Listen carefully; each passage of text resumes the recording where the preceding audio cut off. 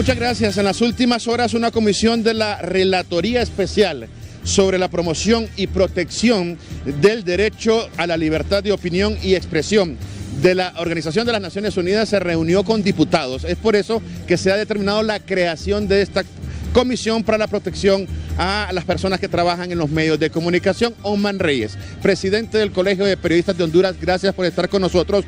¿Cómo ven ustedes esta situación y esta comisión recientemente creada?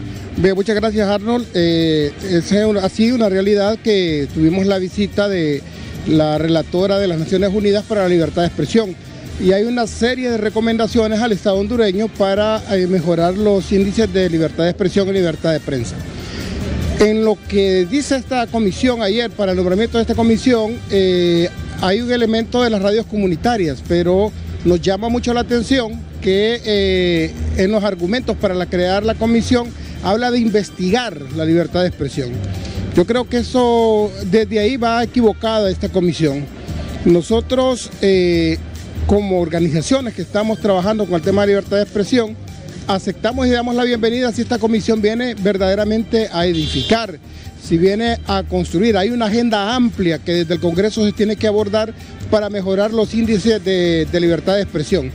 Ahora, si esta trae una agenda oculta, si lo que quieren es limitar, restringir, callar y poner un bozal a los medios de comunicación, pues nosotros también estamos preparados. Nosotros conocemos las instancias nacionales y también conocemos las instancias internacionales.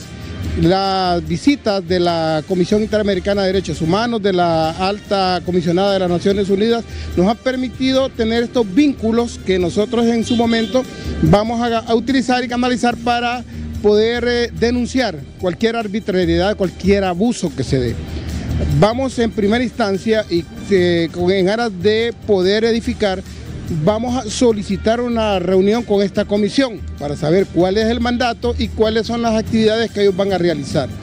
Lo que sí somos claros y contundentes y hablamos eh, eh, de forma así directa es que como colegio de periodistas no vamos a aceptar ninguna limitación, no vamos a aceptar que sea un tipo de libertad de expresión ni que se venga a controlar o a querer callar a los medios que cuestionan y que critican las, cosas desacertadas que pueden haber en la actual administración. Finalmente, ustedes daban detalles la vez pasada sobre la muerte de periodistas y comunicadores que ascendía a 100. ¿En cuántos años era esto? En los últimos dos décadas eh, tenemos 99 periodistas asesinados.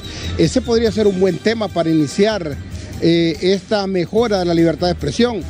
Hay un proyecto y hay un dictamen ya en el Congreso Nacional para despenalizar los delitos contra el honor.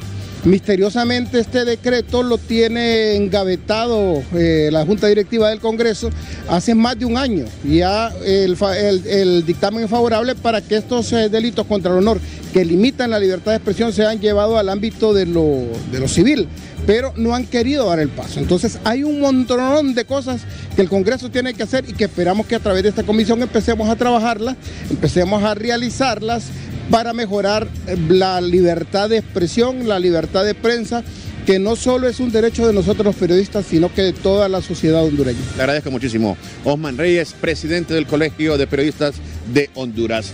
Las imágenes son de Axel Flores. Compañero, yo regreso con ustedes a Estudio Principal.